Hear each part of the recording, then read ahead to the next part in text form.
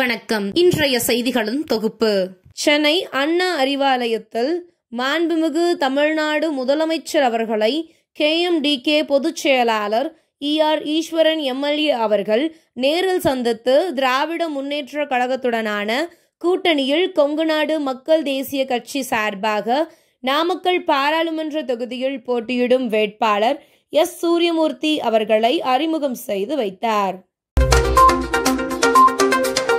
சென்னை சத்யமூர்த்தி பவன் காங்கிரஸ் தலைமை அலுவலகத்தில் தமிழ்நாடு காங்கிரஸ் கமிட்டி தலைவர் திரு செல்வ பெருந்தகை அவர்களை கேஎம்டிகே பொதுச் செயலாளர் இஆர் ஈஸ்வரன் எம்எல்ஏ அவர்கள் நேரில் சந்தித்து திராவிட முன்னேற்ற கழகத்துடனான கூட்டணியில் கொங்குநாடு மக்கள் தேசிய கட்சி சார்பாக நாமக்கல் பாராளுமன்ற தொகுதியில் போட்டியிடும் வேட்பாளர் எஸ் சூரியமூர்த்தி அவர்களை அறிமுகம் செய்து வைத்தார்.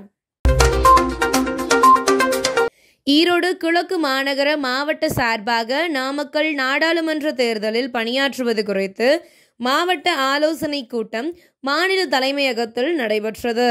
ஈரோடு கிழக்கு மாநகர மாவட்ட செயலாளர் கொங்கு கோவிந்தராஜ் தலைமை தாங்கி தேர்தல் சம்பந்தமாக ஆலோசனைகளை மேற்கொண்டார். மத்திய பிரதேசம் குணோ தேசிய பூங்காவில் தென்னாப்பிரிக்க சிறுத்தை காமினிக்கு பிறந்தது ஐந்து அல்ல ஆறு குட்டிகள் என்பதற்கான தீர்வு. தற்போது ஒரு வாரத்திற்கு பிறகு ஆறு குட்டிகள் என தெரிய வந்ததாக தகவல். காஷாவில் கடந்த இருபத்தி நான்கு மணி நேரத்தில் எட்டு முறை இஸ்ரேல் ராணுவம் நடத்திய தாக்குதலில் எண்பத்தி ஒரு பேர் உயிரிழப்பு நூற்றி பதினாறு பேர் படுகாயம். நாமக்கல் பாராளுமன்ற தொகுதியின் திமுக கூட்டணி தேர்தல் பணிமனை இடத்தை கே எம்டி கே துணை பொதுச் செயலாளர் ஏ கே பி சின்ராஜ் அவர்கள் மற்றும் நாமக்கல் தெற்கு மாவட்ட செயலாளர் மாதேஸ்வரன் ஆகியோர் பார்வையிட்டனர். வாழ்வாதாரம் பாதிக்கப்பட்டதாக டாக்ஸி மற்றும் வாடகை கார் ஓட்டுநர்கள் சார்பில் இரண்டாயிரத்தி பத்தொன்பதாம் ஆண்டு தொடரப்பட்ட வழக்கில் டாக்ஸி ஓட்டுநர்களுக்கு சுமார் ரூபாய் ஆயிரத்தி நானூற்றி எழுபத்தி ஐந்து கோடி இழப்பீடாக வழங்குமாறு ஊபர் நிறுவனத்திற்கு ஆஸ்திரேலிய நீதிமன்றம் உத்தரவு. ஈரோடு மாவட்டம் கட்சி தலைமை அலுவலகத்தில் வருகின்ற நாமக்கல் பாராளுமன்ற தேர்தலில் தொகுதி வாரியாக பணியாற்றுவதற்கு இஆர் ஈஸ்வரன் எம்எல்ஏ அவர்கள் பொறுப்பாளர்களை நியமித்து தேர்தல் பணி சம்பந்தமாக மாநில பொறுப்பாளர்கள் மற்றும் மாவட்ட செயலாளர்களுடன் ஆலோசனை மேற்கொண்டார்.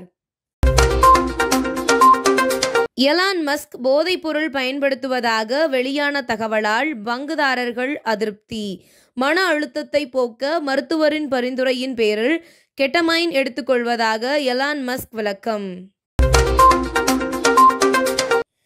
சென்னை குறிச்சி இல்லத்தில் மாண்புமிகு இளைஞர் நலன் மற்றும் விளையாட்டு மேம்பாட்டுத்துறை அமைச்சர் உதயநிதி ஸ்டாலின் அவர்களை கேஎம்டிகே பொதுச் செயலாளர் இஆர் ஈஸ்வரன் எம்எல்ஏ அவர்கள் நேரில் சந்தித்து திராவிட முன்னேற்ற கழகத்துடனான கூட்டணியில் கொங்குநாடு மக்கள் தேசிய கட்சி சார்பாக நாமக்கல் பாராளுமன்ற தொகுதியில் போட்டியிடும் வேட்பாளர் எஸ். சூரியமூர்த்தி அவர்களை அறிமுகம் செய்து வைத்தார்.